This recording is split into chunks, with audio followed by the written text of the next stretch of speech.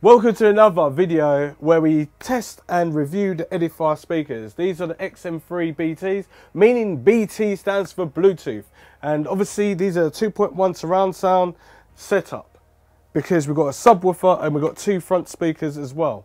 So these speakers are 8 watts a piece and this subwoofer is 22 watts and these are RMS as well. So the right configuration is right there. But we're going to be testing it and playing some uh, wave files and stuff and see what it sounds like and everything like that. Uh, it's pretty cool, but there's a lot of things that I really want to go through with you on it.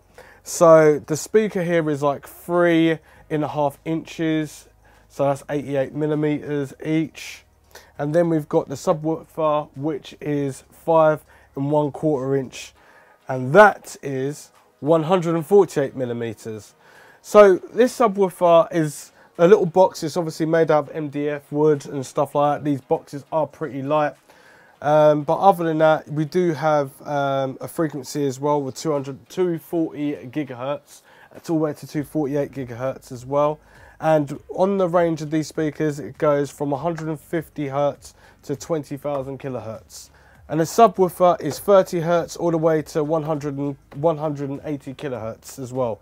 So we've got an all right, decent sort of sound. I'm more likely thinking it's going to probably be a little bit poppy because it's MDF wood. That's with light speakers. There's no real weight to it. It's like really easy to pick up. The subwoofer is a little bit more heavier, but it has got preamp built into it. Um, so let's start off with this. So on the side, straight off the bat, we have a volume knob, which you don't press, doesn't do anything. Just go volume up, volume down, so it doesn't keep going around all the time like they do on other Edifier speakers. We've also got a multimedia uh, volume and a control and you can turn it up and then down and then that's what that is. Then we've got the speakers which are RCA or phono cables which are connected through uh, the speaker to connect them up. And then we've got um, an AC out for your power. That's already connected in there so no additional plug in, just straight AC and then straight plugged into uh, socket mains. Your power switch on and off. And then you've got these buttons here and obviously you can see these slots here. So if you've got a USB stick, you can literally connect that to this and skip through the tracks via up, going backwards and that one going forwards and no, that's actually playing pause and then the bottom one skipping forwards and then you press the button again and if it's orange it's going to be FM yes FM FM freaking radio is on here so what you could do is skip well obviously the blue lights for Bluetooth as well and the green one is obviously for line in um, or is it SD card red one's for SD card so you, yeah SD card as well so you got so many different ways that you can literally have music coming out of these speakers which is really quite cool so that's what you got coming in the box and everything like that. And this is what's on the side of the subwoofer. I think there's nothing on the back, if I remember rightly. No, it's just nothing on the back, just little wooden box and stuff. So let's talk about aesthetics really quickly. So at the moment, when I take the covers off, yes, it does look pretty ugly and stuff like that, but that's just the way it is. But if I put the covers on, these nice little foamy covers with a metal sort of or plastic aluminium look, uh, aesthetic with uh, Edifier breathing through some orange lightage, then yeah, it looks kind of smart. It looks kind of clean. It's good little computer uh, speaker. Um, it's decent for that sort of thing. It looks nice, complements it really well. It's got some orange accents lights lightage there. And then obviously nice little aluminium plastic look there. And then you've got the actual grill. And it's quite solid with the Edifier logo there. Um, and then it's got the bass reflex hole on the left hand side as well, which means you've got the amplifier and everything like that, and you've got it like that. So your subwoofer bass will not be completely straight. But technically, I don't know how they work this out, but they do work these things out. So what we're going to do is just going to play some music and see what it sounds like, and then see what you guys think. Right, so all I'm to do quickly is just going to play like a quick video for YouTube because obviously it's really down sampled and all that sort of stuff. This is a 4K video. So this is what I'm saying. Listen to YouTube at the moment, down sampling the music and stamping, stomping all over it and then we'll use, listen to some waveform right now even though when you look at it on YouTube, it'll still be downsampled and stomped on, but not as much as this one. I'm gonna play it at full blast as well.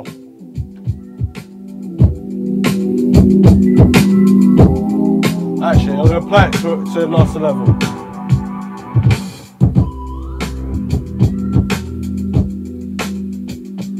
Bass off, full blast and then I'm going to drop the bass in gradually.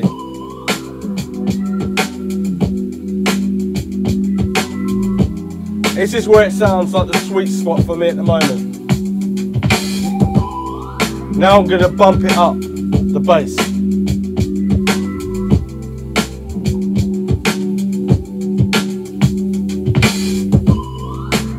It sounds like it's popping a little bit, so I'm going to bump up a little bit more.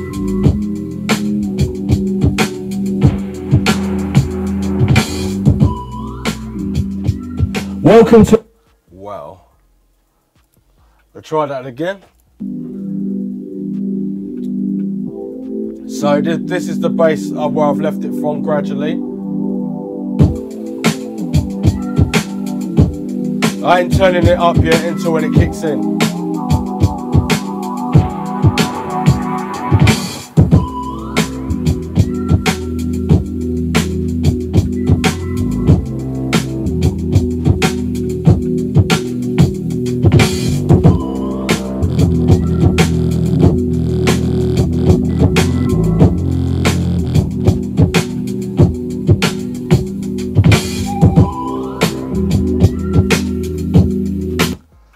Right, so you do have a bit of headroom where you can have the bass. Obviously, I put, I think it's probably about 75% that I went to. Any more than that, it will start to pop, but it depends on what music you're listening to. Now, if you're gonna listen to rock and R&B, drum and bass, or anything like that, then obviously it's gonna be bass heavy. Um, con con continuity of bass, which goes, goes and deeper frequencies of bass lines, it means that it'd be okay for, but the really deep bass that you don't really normally hear, unless you've got a really high quality subwoofer that you're gonna put money behind, is where you can hear those sort of frequencies from the sub. That means it will kind of sound a bit like poppy or it'll be non-existent. So this I would definitely recommend as a monitor of speaker listening for like your gameplay and everything like that. But you can turn the bass down slightly, but you won't it won't turn the bass off completely. It'll feel like it's quite nice. So what I'm gonna do is I'm to play like a waveform now and see what you think of that as well. So I'll probably play four or five tracks and then I'll just give you my honest opinion afterwards.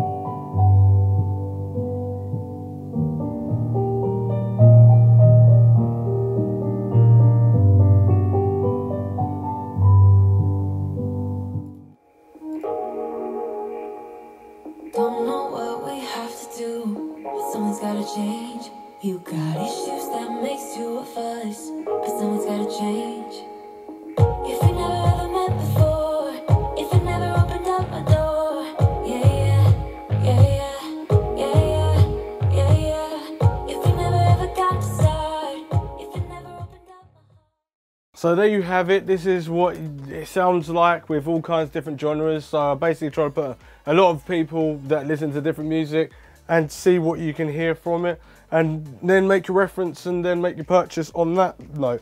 But technically, I'm going to just try the FM radio quickly, uh, which is, what colour was it? Orange. There we go. So I should hold down the play and pause button, is it? And it should search up to 70 preset stations on there. Not even a no tuning in or nothing. Can't. I don't know if I'm doing this right. Let me just press that. Does I hold it down? That's really weird.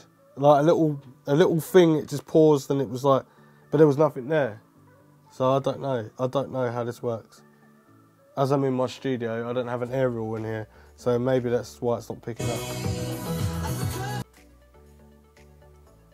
It worked. Okay, cool. Anyway, so all that music you've been listening to, yeah, we had the bass up full blast, so all the way down. We crank that up, mine. And then we had the volume up about 63, 60, I say 64%. We had the volume right up.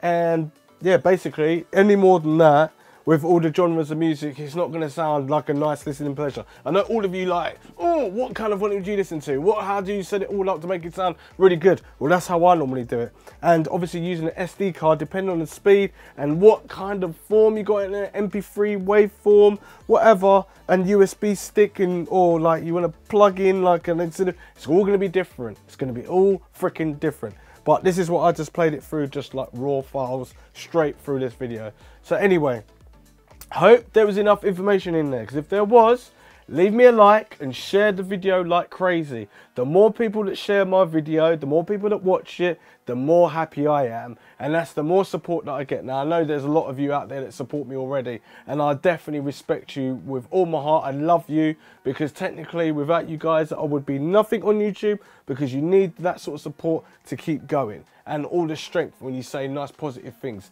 So kudos to you. Thanks for your love and everything like that. Um, and yeah, just keep getting people to subscribe, share, and like and follow me on all social media platforms. And I'll see you next one. Roger freaking out.